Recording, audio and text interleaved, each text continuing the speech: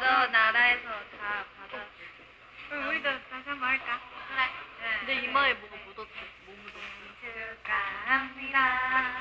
네, 축하합니다. 축하합니다.